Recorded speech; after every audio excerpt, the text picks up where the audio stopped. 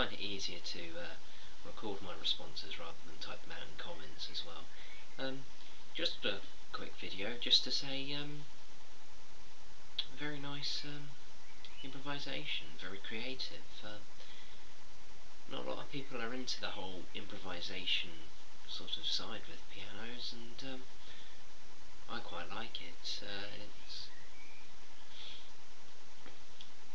I initially found you through um, jazz piano lessons um, with Keith and uh, followed you back to your improv page and it's very very nice.